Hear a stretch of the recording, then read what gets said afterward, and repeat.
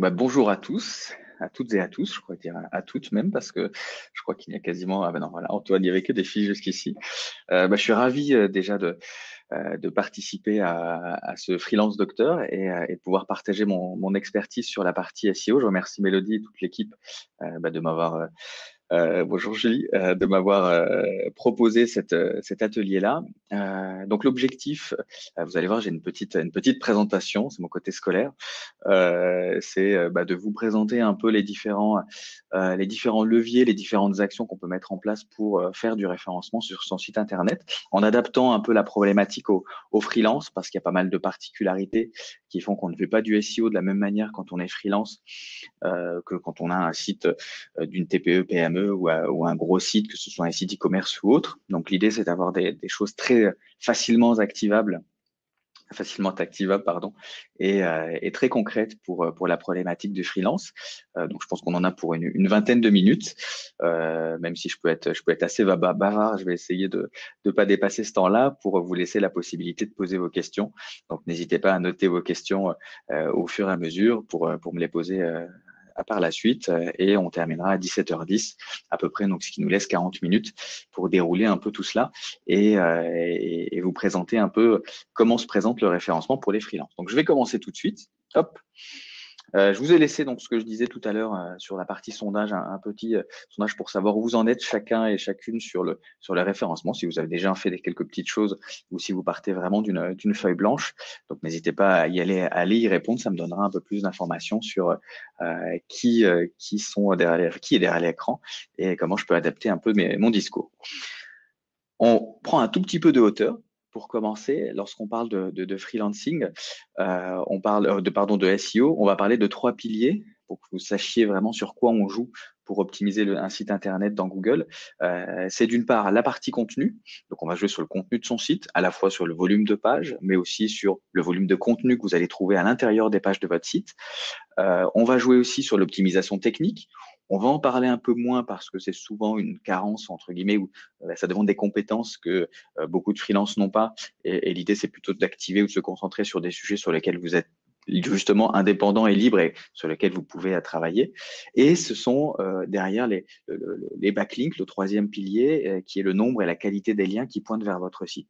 Et c'est vraiment l'addition de ces trois sujets qui fait qu'un site est bien référencé, qui, qui monte, qu'il monte dans Google et qu'il apparaît sur les mots-clés qui vous, intéressent. Donc retenez bien ce, ce petit triptyque du SEO avec contenu, technique et backlinks, sachant que nous, euh, là aujourd'hui, on va surtout se concentrer sur la partie contenu, qui est euh, celle qui est la plus facile à activer, qui est à mon sens la plus importante aussi, et qui est celle que vous allez pouvoir activer assez facilement en tant que freelance.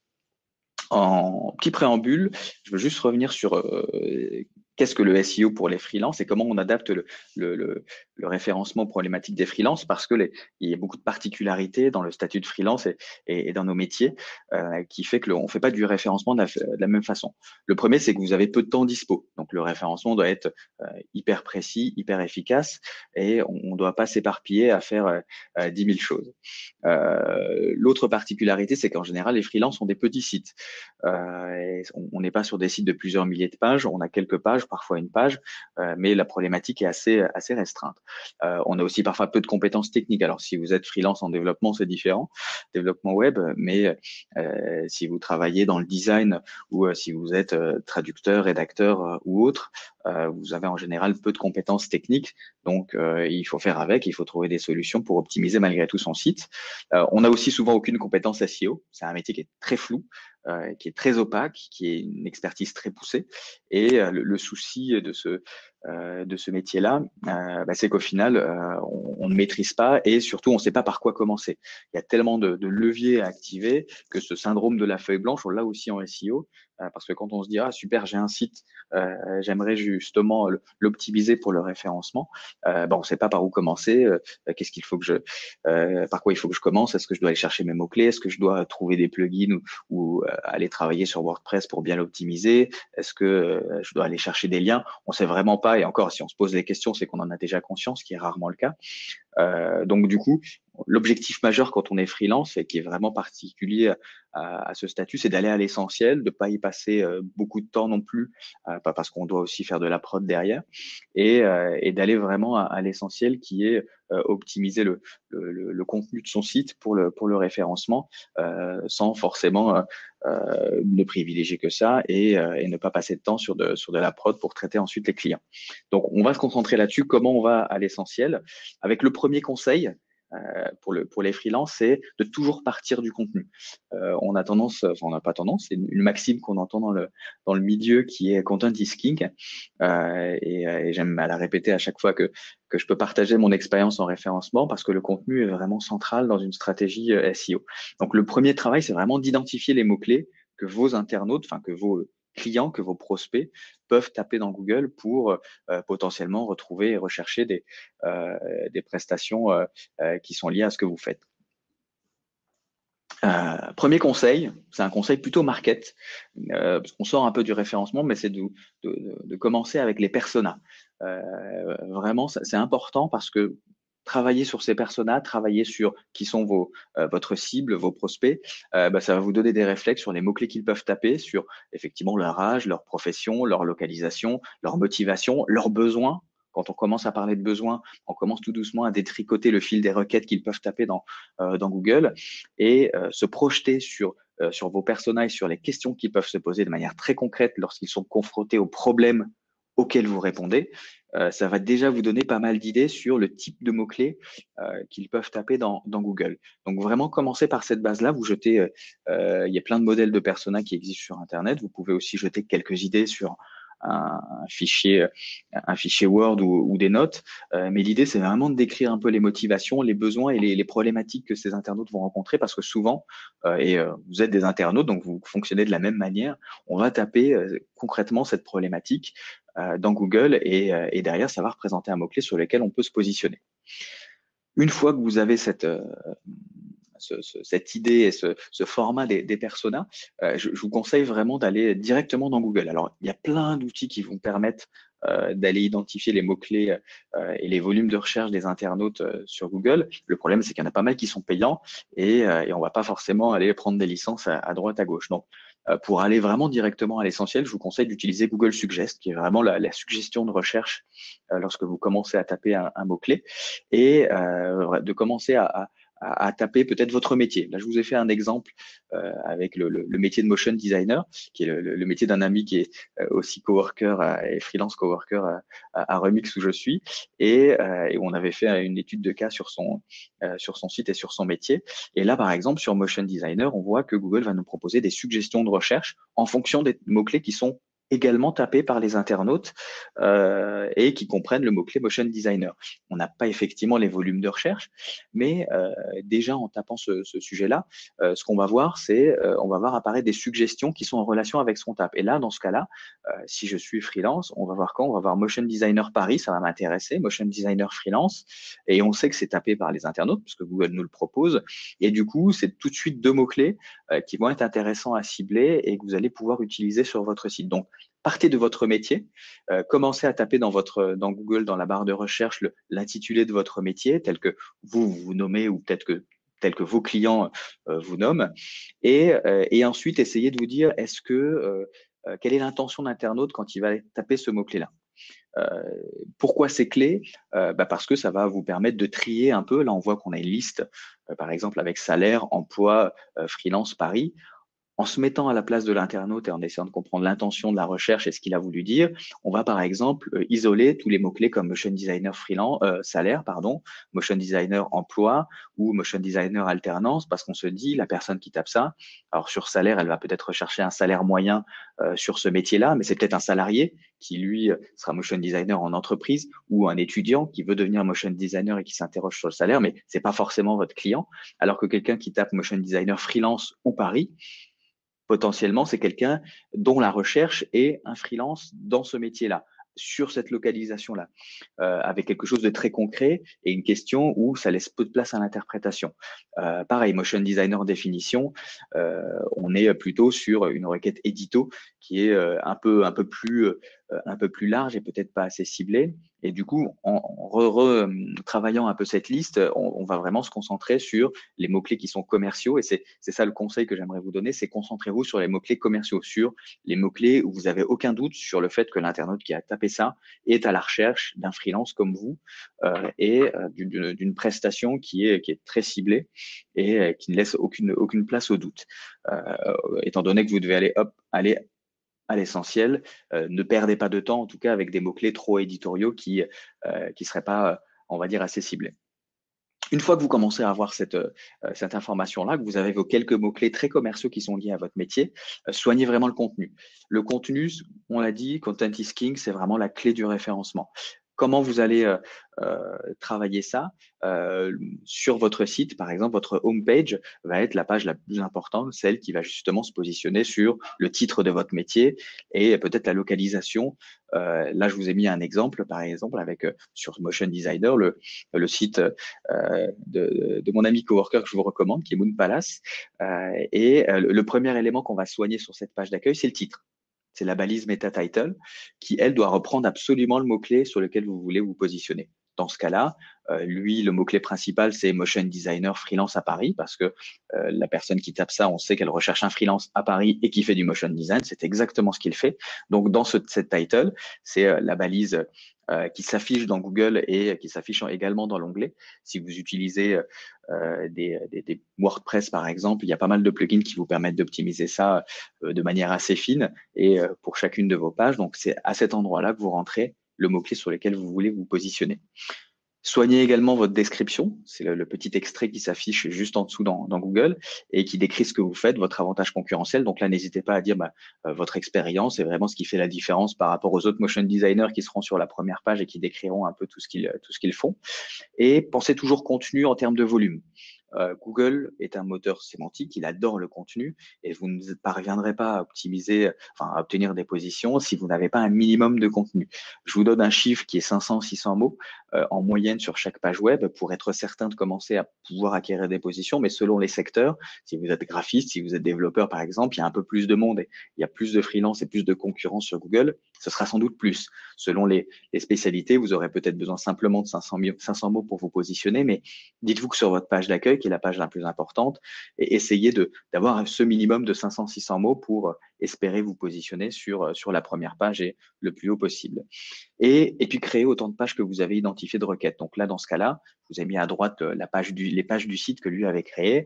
Euh, il avait identifié que les gens recherchaient vidéos de présentation de produits, vidéos de, euh, de présentation d'entreprise, vidéos en 3D, etc., qui étaient toutes liées, ce sont toutes des requêtes qui sont liées au motion design, euh, mais c'est pas la homepage qui doit se positionner là-dessus, c'est à chaque fois une page dédiée à, cette requête-là, à cette prestation-là. Donc il avait créé des liens euh, vers des pages euh, qui parlaient de chaque spécialité et bah, qui avaient vocation à, à se positionner là-dessus.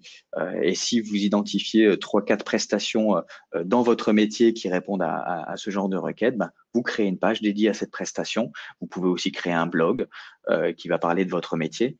Et voilà, c'est important en tout cas que votre site soit pas one page et que vous ayez le, le, plus de contenu possible sans aller jusqu'à 300 pages parce que les problématiques de temps font que vous ne pourrez pas créer 300 pages. Mais l'idée, c'est à la fois de cibler toutes les requêtes qui vous ont semblé intéressantes en créant du contenu dédié pour chaque requête et aussi que Google vous identifie comme une référence ou en tout cas un site qui est assez complet sur ce sujet.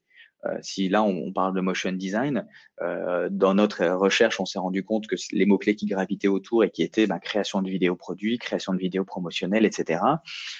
En parler sur le site, ça permet à Google de se dire, OK, ce site, il est pertinent sur le motion design parce que j'ai trouvé tous ces mots-clés, toutes ces pages qui parlent de ce sujet, qui, gravitent autour et qui font que ce site est pertinent. Si on n'avait eu qu'une seule page avec juste motion designer freelance à Paris et rien à côté, euh, on aurait manqué de contenu et Google nous aurait dit ce site me paraît pas suffisamment pertinent parce que sur toutes les pages, euh, on n'a pas l'ensemble des mots-clés que j'aimerais retrouver sur le, sur le site. Donc, gardez ça, euh, travaillez votre homepage, votre contenu, mais essayez d'avoir quand même une petite dizaine peut-être de pages qui gravitent et qui sont liées à vos prestations, à votre expertise euh, ou à la façon dont vous faites votre métier euh, via le blog et qui permettent à Google de se dire j'ai compris ce qu'il fait, et j'ai compris comment il le fait et, et, ça permet de mieux le thématiser.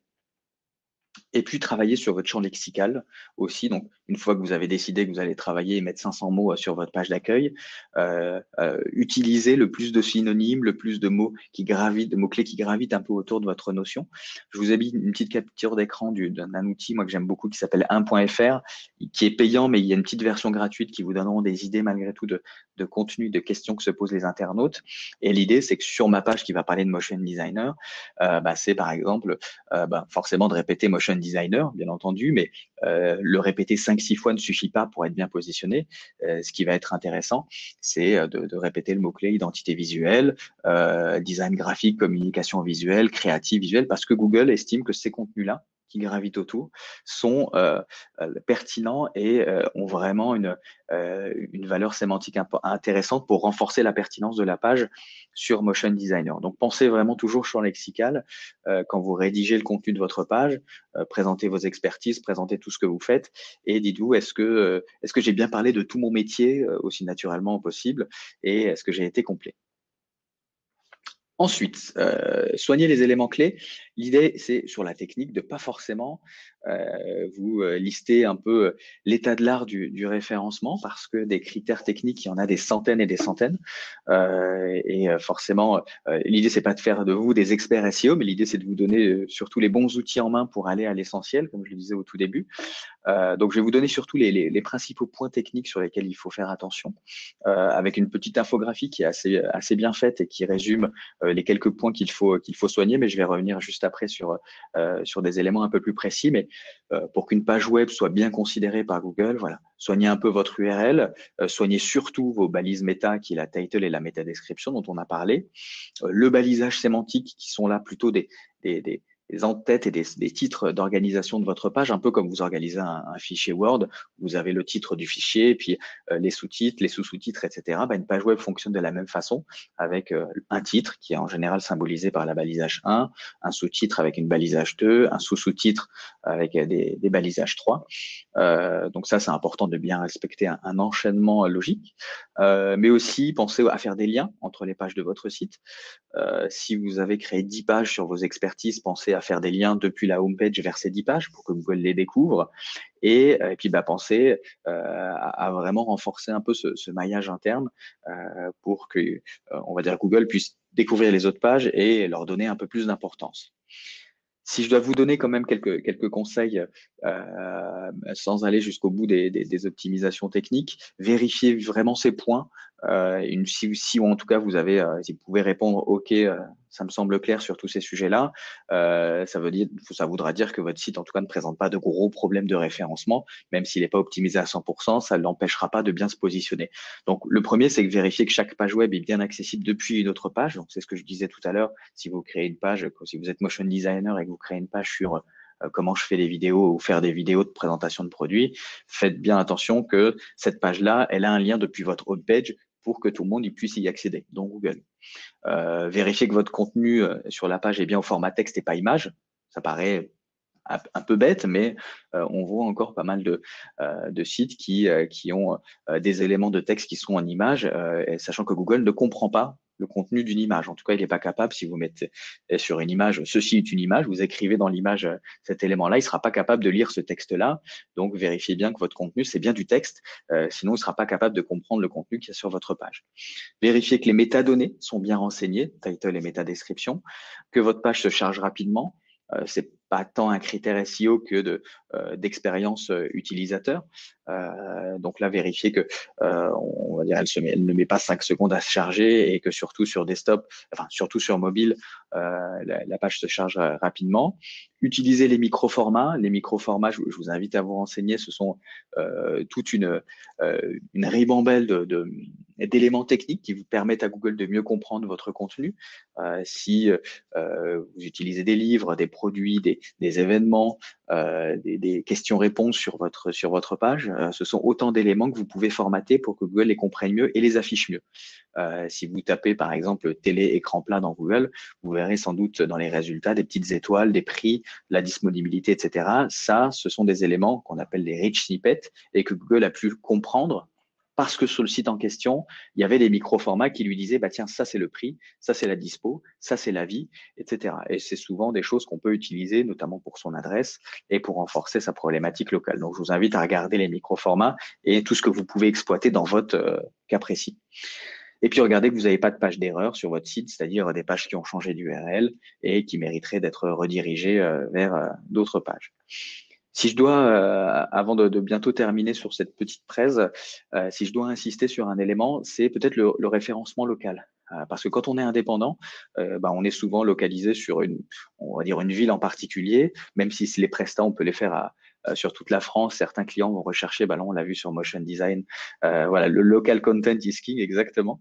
Euh, et c'est souvent une opportunité de se positionner plus vite et plus haut qu'avec son propre site. Donc, quand on pense référencement, et notamment sur le référencement local, dites-vous qu'on n'est même pas toujours obligé de penser que via son site.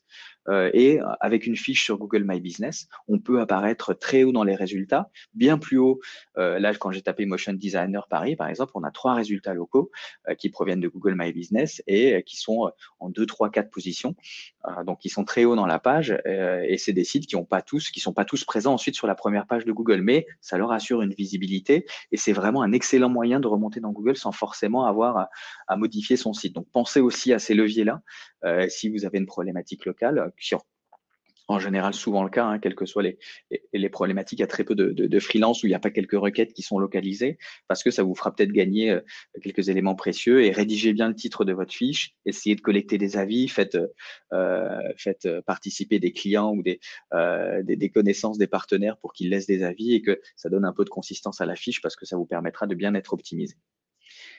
Et le dernier point, donc on a vu la partie contenu, euh, on a vu la partie euh, technique et maintenant la partie lien, c'est un peu, euh, j'ai souvent, le, le, en, termes d'exemple, j'aime bien utiliser ça par rapport à la, gastronomie en disant que quand vous avez votre recette, la création de liens, c'est vraiment ce qui, comment dire, c'est la sauce qui permet de donner vraiment du goût à la, à la recette et de finaliser un peu, un peu tout ça. Donc Créer des liens, c'est vraiment important parce que si vous n'avez pas de lien, vous êtes un peu invisible aux yeux de Google et vous n'avez pas de notoriété. Euh, donc, plus vous en avez, plus vous montrez haut dans les résultats et euh, bah, euh, plus Google vous donnera un petit, un petit bonus. donc, c'est vraiment important de créer des liens en provenance d'autres sites vers votre site. C'est vraiment le, la chose à faire en dernier, mais qui est à faire un peu sur tout le long de la vie de votre site. Et comment en créer? Donc, je vous ai donné quelques idées très concrètes. vous avez plein d'annuaires Internet où vous pouvez juste aller inscrire votre site c'est une manière très basique de créer des liens, mais ça marche encore. Euh, vous pouvez contacter aussi des influenceurs, des blogueurs dans votre secteur, euh, soit pour négocier un partenariat, voir si vous avez un peu de financement pour le SEO, de négocier des, euh, des articles sponsorisés. Vous pouvez aussi faire du guest blogging.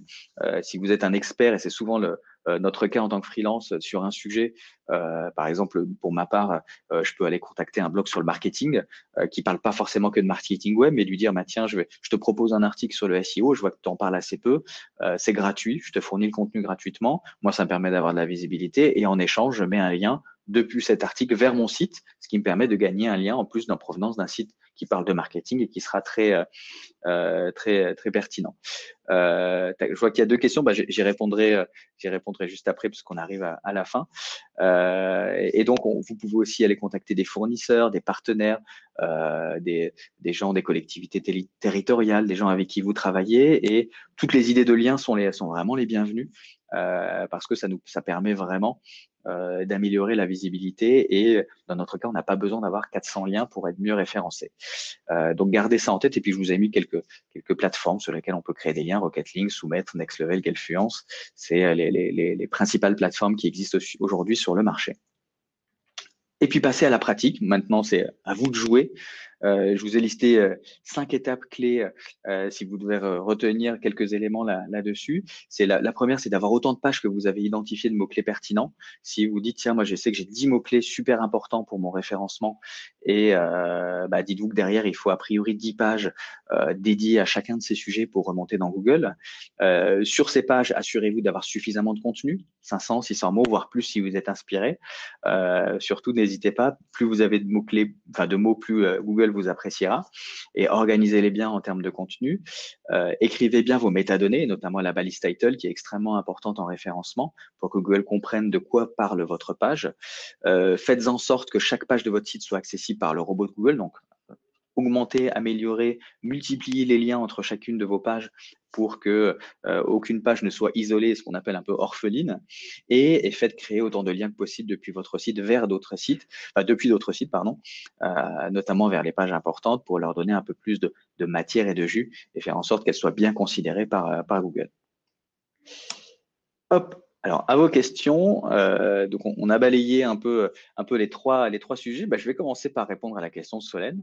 Euh, je te remercie, qui a demandé si on a un blog national, est-ce que ça vaut le coup d'avoir une fiche Google My Business? Euh, Effectivement, c'est peut-être pas utile euh, si on est sur un sur un blog national. Euh, tout dépend si après, alors ce blog présente une, des prestations ou pas, si on va dire c'est de l'éditorial et que vous parlez simplement euh, d'un sujet sans forcément avoir de problématiques, c'est pas c'est pas forcément utile. Mais par contre, on a d'autres euh, éléments qui peuvent être intéressants, euh, simplement pour la réputation. Euh, je, je, vais prendre un exemple. Si vous voulez que lorsqu'on tape le nom de votre marque, vous ayez votre fiche Google My Business qui s'affiche ou le nom du blog qui s'affiche à droite, ça peut valoir le coup malgré tout d'avoir une fiche. Donc, même si c'est pas un outil d'acquisition de prospects potentiels, ça peut être juste un outil d'e-réputation. Euh, d'avoir la fiche Google My Business. Euh, après, il faut quand même une adresse. Donc, si euh, le, fait votre adresse n'est pas hyper importante dans votre activité parce que vous ne faites pas des services à, l'endroit où vous êtes, c'est peut-être pas utile. par contre, il y a un autre euh, outil que Google a sorti et, euh, depuis un moment, mais qui fonctionne bien. C'est euh, alors anglais, ok, c'est sur la partie voyage. Donc le, Google My Business peut être intéressant, mais c'est pas critique, sachant que l'adresse sera pas un, élément de différenciation ou un élément de concurrentiel. Mais ils ont une fiche info pour les marques qui commencent à être un peu connues ou les blogs qui commencent à être un peu connus. Vous pouvez revendiquer et qui est pas lié à une localisation, mais qui fera que lorsque vous rechercherez votre votre marque, vous aurez plein d'informations sur votre entreprise ou sur votre blog. Euh, donc là, vous pouvez l'utiliser. Euh, tapez Blablacar ou n'importe quel Mac, vous verrez, il y a plein d'infos qui s'affichent sur la droite en sidebar. Euh, Mélodie, comment mettre son lien sur un annuaire Est-ce gratuit?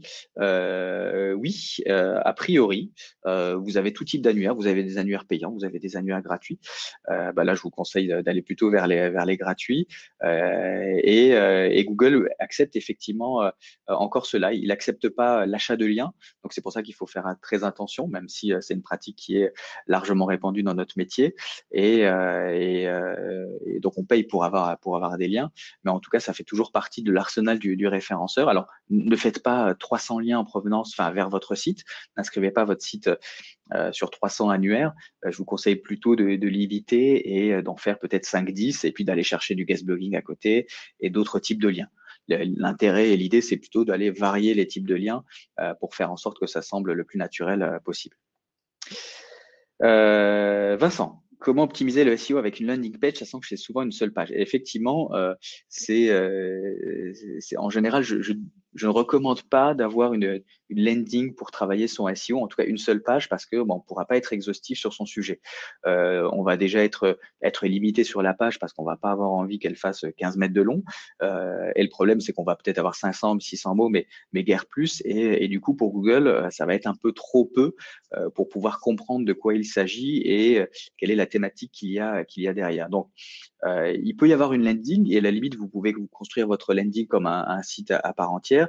Et puis derrière, en footer, un petit accès à d'autres pages qui seront pas ou peu accessibles euh, ou en tout cas très peu visibles pour les internautes, mais qui derrière euh, seront utiles pour Google en disant bah, regarde, euh, j'utilise, enfin je ne parle pas seulement de mon sujet avec cette landing, derrière j'ai d'autres pages qui parlent de ce sujet. Donc voilà, je, vous conseillerais plutôt euh, d'avoir plusieurs pages pour être sûr que Google comprend bien que vous êtes un peu plus exhaustif sur le sujet et que vous ne parlez pas que euh, d'un seul seul sujet sur une seule page web.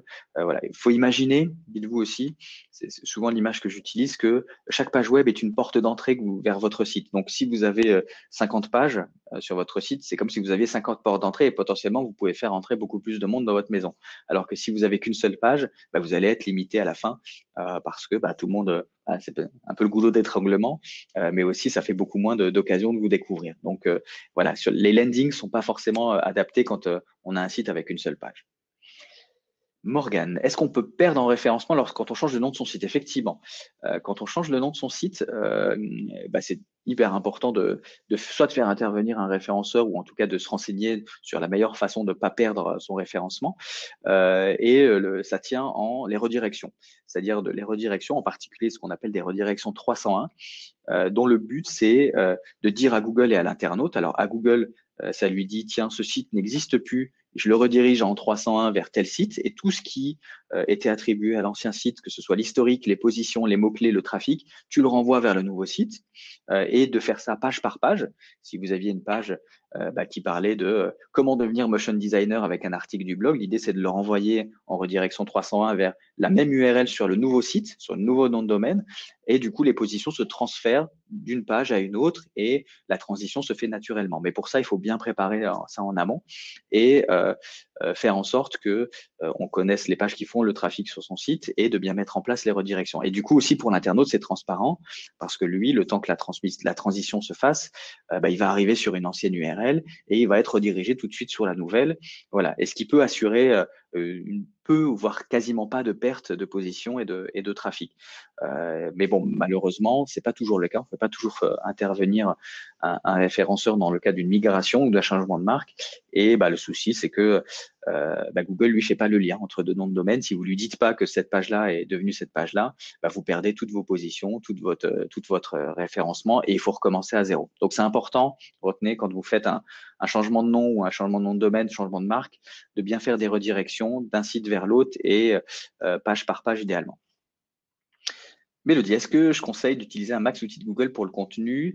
Euh, Alors oui, est-ce que c'est favori Derrière ça, il y a la question est-ce que c'est mieux d'utiliser les outils de Google par rapport aux autres services euh, Par exemple, YouTube, euh, est-ce que j'utilise plutôt Dailymotion ou, ou, YouTube ou autre?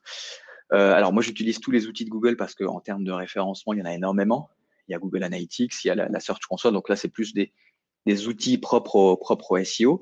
Euh, après, euh, euh, sur les images hébergées sur photo, je ne conseille pas forcément d'utiliser ça pour des problématiques de référencement. Par contre, sur les vidéos pour YouTube, oui.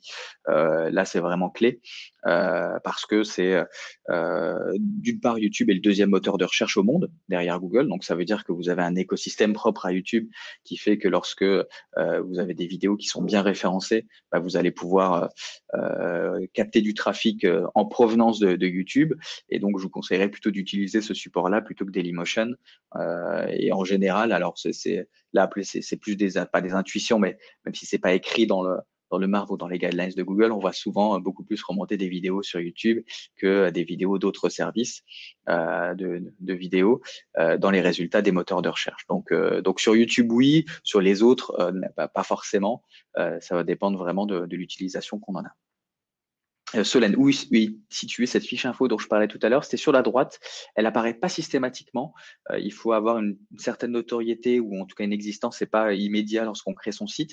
Et elle apparaît sur la droite, euh, souvent à la place. Il n'y a pas de fiche Google My Business à la place de cette fiche. si, alors attendez, je fais une petite recherche pour essayer de vous montrer. Hop. Voilà. Je vais juste partager mon écran que vous voyez.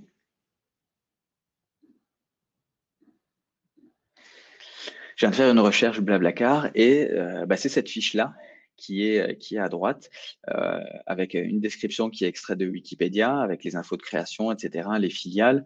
Euh, il, va chercher des infos qu'il va trouver sur société.com, euh, bah, sur Wikipédia forcément, mais également sur d'autres sources que lui a identifiées comme euh, des sources de confiance. Et on voit en bas, on a revendiqué cette fiche info. Donc je peux euh, dire cette fiche info m'appartient parce que je suis un représentant officiel de Blablacar et, et en faire modifier les éléments, que ce soit le, logo ou. Et là, par exemple, Blablacar, qui a pas de problématique locale au global. C'est après des, en tout cas, il n'y a pas de raison de faire une, fiche Google My Business pour eux. Euh, donc cette fiche info est beaucoup plus pertinente. Et voilà. Après, sur la revendication de la fiche info, il faut juste que vous puissiez prouver que vous êtes bien euh, un des propriétaires de la marque et en tout cas que vous avez bien une, main sur le site et euh, que vous pouvez le gérer. Vincent, euh, donc pour un lancement, il est préférable d'avoir un site avec plusieurs pages, avec la page. Ça peut être ça exactement. Euh, je reviens sur ta question tout à l'heure. On peut avoir euh, une landing qui, elle, va se positionner sur le mot-clé le plus concurrentiel, et puis euh, derrière les, quelques pages avec les, les mots-clés, comme on l'a vu sur l'exemple que j'ai montré tout à l'heure, moonpalace.fr, où il a quelques dizaines de pages, enfin une dizaine de pages sur bah, vidéo de présentation, tous les types de vidéos qu'il peut être amené à faire, vidéo de présentation, vidéo de présentation produit, vidéo l'entreprise, etc. Est-ce que vous avez d'autres questions euh, N'hésitez pas à me, donner des exemples concrets sur vos problématiques, sur vos sites, euh, des choses que euh, bah, sur lesquelles vous vous posez des, questions, que vous ayez lancé votre site ou pas, que vous soyez en train de le, créer, sur les CMS peut-être et les logiciels les plus intéressants. C'est vrai que je vois passer par exemple beaucoup de, de, sites sous WordPress aujourd'hui.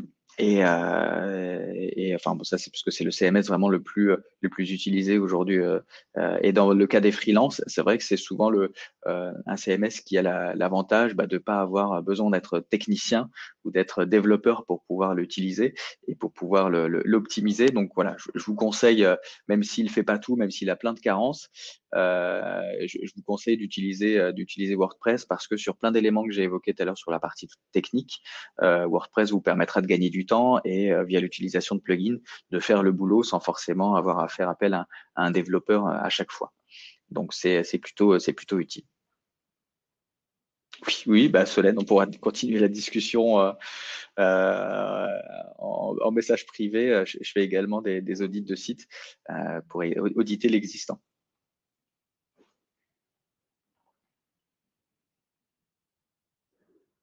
Je vous écoute, n'hésitez pas. Est-ce qu'il y a, euh, est-ce qu'il y a des, éléments qui peut-être n'étaient pas clairs ou, euh, sur lesquels vous souhaitez avoir un peu plus de détails sur la partie contenu, euh, sur la partie technique, sur la partie création de liens? Parce que le, référencement est parfois assez opaque et en tout cas très complexe. Donc, alors, je sais que la présentation est enregistrée. Vous aurez accès au replay. Je ne sais pas si elle sera envoyée par email. Je laisserai euh, Mélodie répondre à cette question-là pour, pour savoir si vous pourrez y avoir accès. Hop. Je vais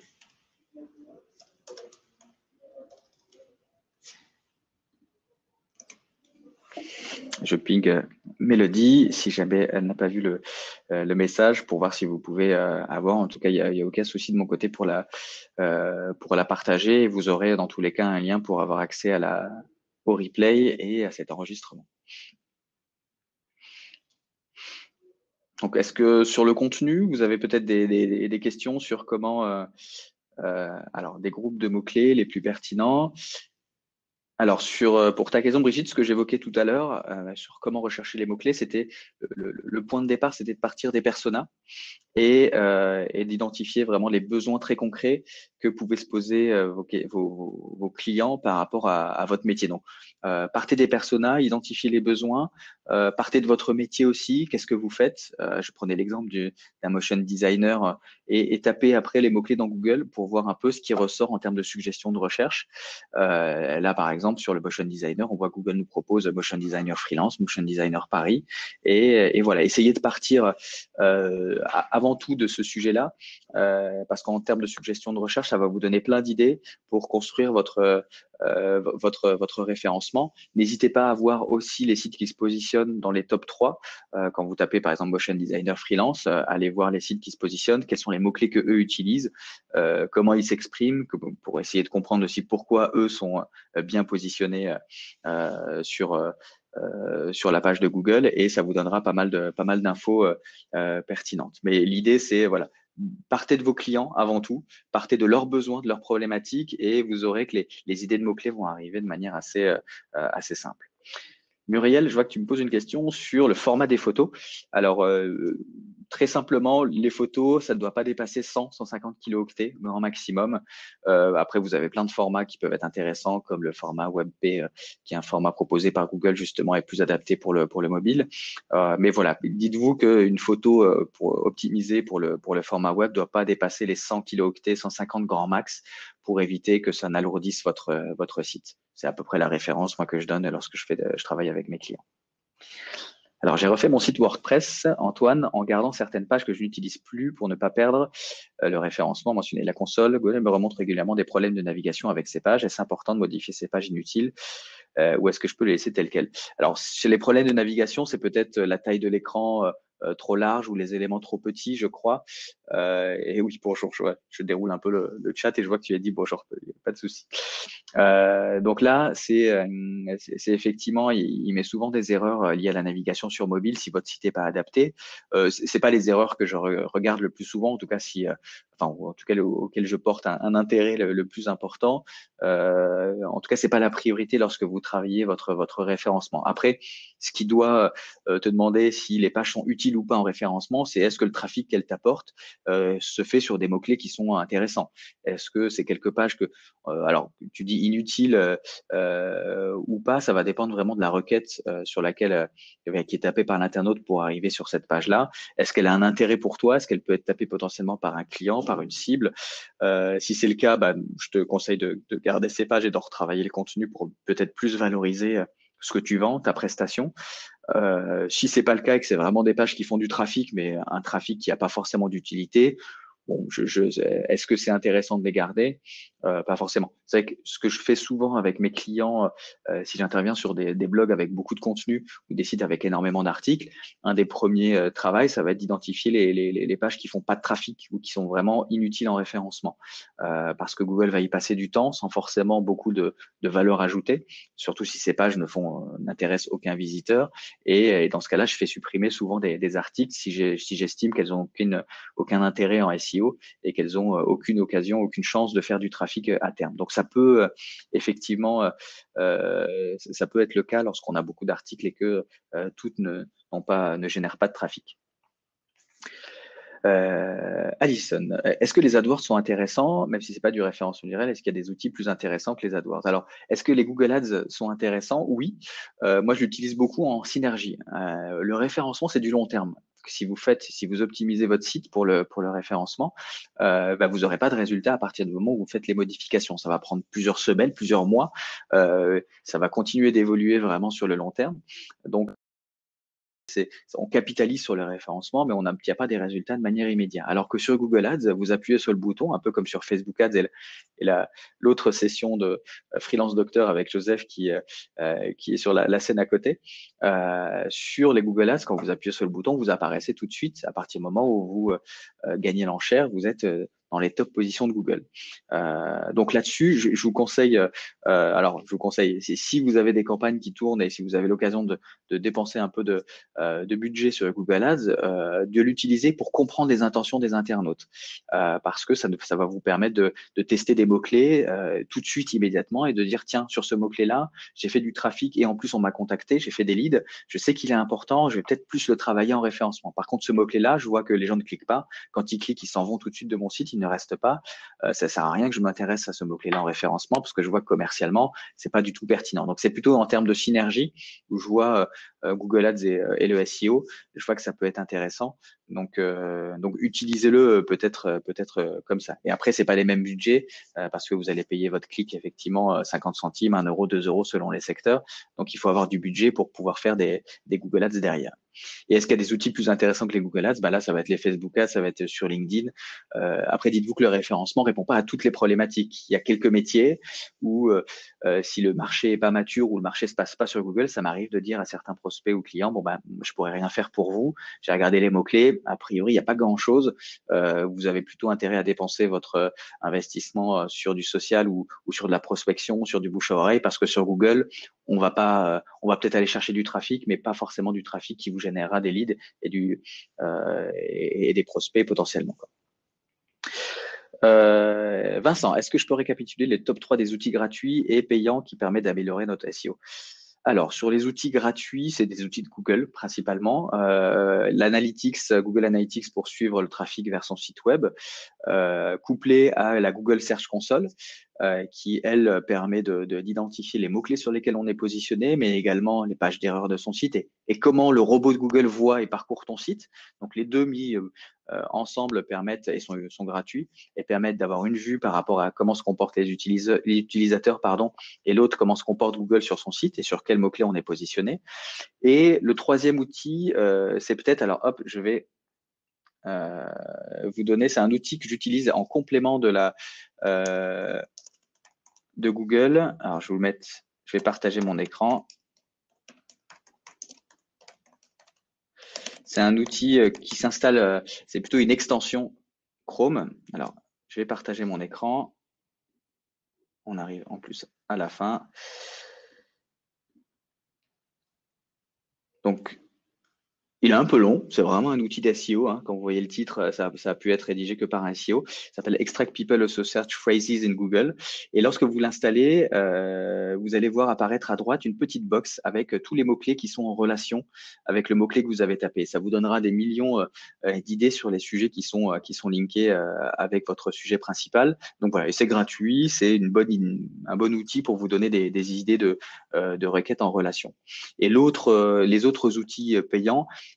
euh, alors, il faut avoir un peu de budget, mais moi j'utilise beaucoup SEO Observer, qui est euh, euh, un outil qui va combiner plusieurs outils différents et qui vous permet de faire de l'analyse de site très vite sur quels mots-clés ce, ce, site se positionne, quelles sont ses forces, quels sont ses liens. Donc SEO et Observer OBSER, VER, qui est vraiment un outil euh, super sympa. Euh, et l'outil 1.fr, dont j'ai parlé tout à l'heure, qui lui est plus spécialisé sur le contenu. Donc, si vous voulez savoir euh, comment optimiser le contenu de votre site et de vos pages, quels mots-clés utiliser champ lexical, cet outil est vraiment sympa. Je crois qu'il est un peu cher, il est à 60 euros le mois, mais vous pouvez arrêter l'abonnement et je ne sais pas s'ils ont des formats, des formats de tickets, mais il est plutôt, il est plutôt pas mal. Et, après, peut-être plus un outil sur la partie, sur la partie technique, je vous conseillerais Ranking Metrics euh, que j'utilise euh, également et qui est plutôt intéressant si vous voulez faire auditer techniquement votre site et avoir une petite cartographie des éléments qui euh, qui sont pas bons. donc Ranking Metrics, hop, je vais voilà. Voilà, euh, et, donc voilà, il vous analyse techniquement votre site et va vous donner une petite mine d'informations avec toutes les infos euh, qu'il faut corriger pour que votre site soit bien apprécié et bien optimisé pour, euh, Google. Donc voilà les trois petits outils que je pourrais vous conseiller, que ce soit des outils gratuits ou des outils payants. Est-ce que c'est pareil que 1.fr Alors, Florence, par rapport à quel, outil? Sur le, search, euh, euh, l'extension de, Chrome? Alors, oui, c'est complémentaire. C'est complémentaire. Euh, l'outil, l'extension de Chrome, elle va aller chercher dans les pages de résultats de Google, donc dans les résultats concrets, euh, les recherches associées à la recherche que vous avez tapée. Ça vous dit pas euh, l'ensemble du champ lexical, mais ça vous donne des idées sur euh, ce qui est en relation et ce qui va pouvoir être pertinent. Donc c'est pas pas exactement la même chose. Ça va pas vous sortir précisément les questions posées par les internautes, mais ça peut vous donner des idées de mots clés qui gravitent autour. Donc je dirais que c'est pas la même, c'est pas pareil, c'est complémentaire et c'est un outil gratuit. Donc ça fait pas, euh, c'est vraiment qu'un outil de suggestion, ni plus ni moins.